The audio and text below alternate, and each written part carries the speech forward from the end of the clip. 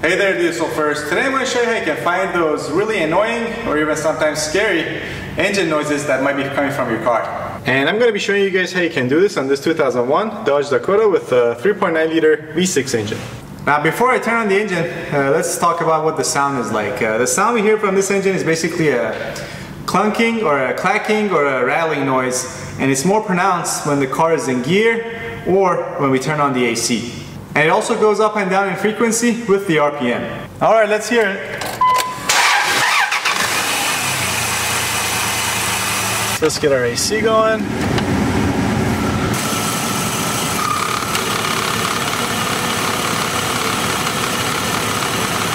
Alright, let's get you guys closer, maybe you can hear it more clearly. Now I'm gonna put the car in gear, that way you guys can really hear it.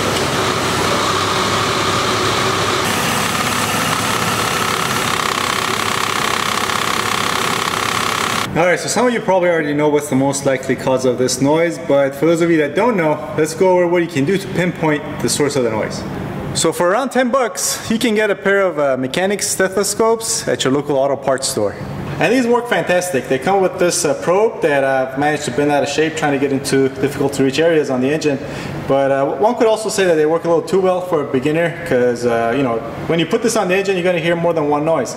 And it's going to require a trained ear to listen for the noise on the engine that you hear while you're standing back and listening to the engine. But if you practice with this a little bit, maybe you uh, try it on a car that's making the noise and then try it like, uh, on another car that's not making any noise, uh, you should be able to use this pretty efficiently. And the way you use this is basically with the engine running and while you hear the noise, uh, you go around and put it on the different components of the engine where you suspect the noise could be coming from. For example, we hear the noise more when we got the AC compressor on, so it would be uh, it would make sense to put this on the AC compressor with the engine running. And you might want to get close to the pulley as you can.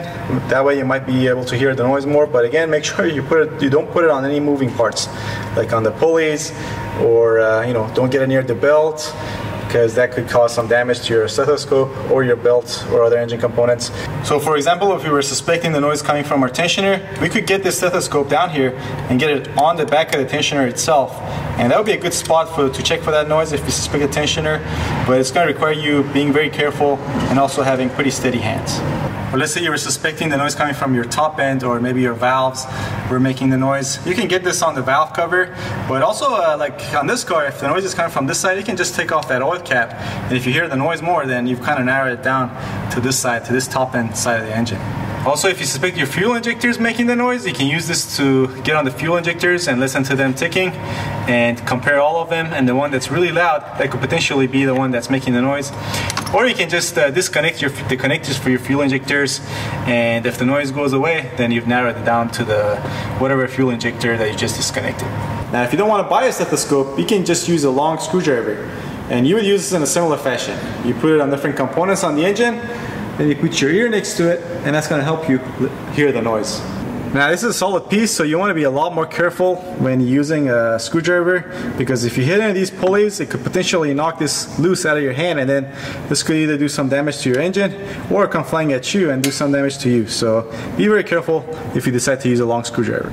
Now with the symptoms we have, which are uh, noise going up and down with the RPM, and also we hear the noise more with the compressor clutch engaged, or when the car is in gear, uh, it usually means that there's a problem with one of the pulleys or the bearing for one of these components up front that's controlled by our uh, serpentine or drive belts. And the reason we hear the noise more when we got the car in gear is that simply there's your engine vibrates more when it's in gear and uh, that vibration, if you get a bad pulley or a bad bearing, it's going to cause that to wobble more, make more noise, and that's why you hear the noise more uh, when it's in gear. There's also extra drag on the belt when you do when you do those things, and that could also mean why you hear the noise more.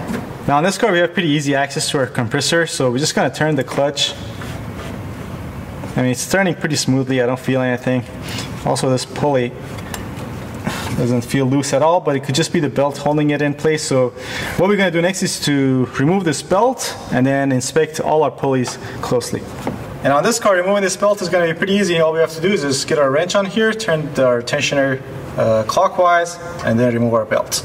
And if you're doing this for the first time, make sure you have the diagram of the, how the belt is routed before you take it off. There we go. All right, let's try this again. There's a little bit of moving, but uh, it's not that bad. I don't think that's it. Is our alternator pulley. Our tensioner, tensioner uh, pulley is good too. Then we found our problem. this idler pulley sounds awful. And here's a closer look. Yep, that's got a bad bearing for sure. Quite a bit of uh, play too. Alright, great. Looks like we found our problem, but uh, in order to be 100% sure, we're going to get in the car, turn on the engine, and then put the car in gear like before. And if the noise is not there anymore, then that's uh, for sure, it means that's what was making the noise, because you could have a bearing in one of these pulleys, but you could also have a second uh, component that's bad, and it's the second component that's making the noise. So in order to be sure, we're going to test and verify.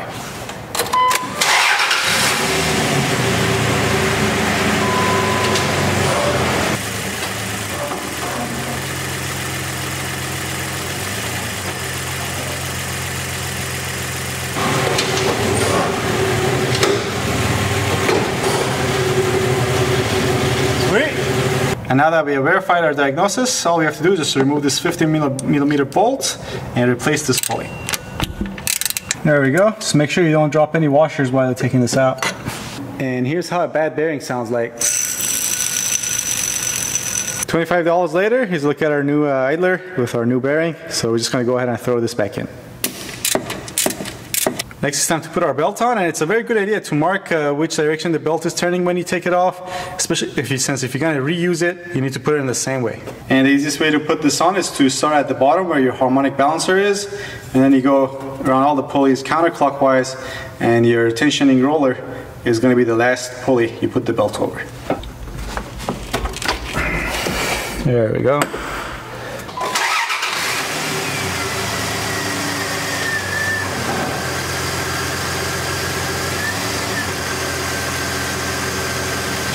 That's all there is to it folks. If you like this video, please consider checking out some of my other videos. I'll put up on the screen as video links so you can just click on it. Also don't forget to give this video a thumbs up and subscribe if you want to see more like it. Thanks for watching, see you next time.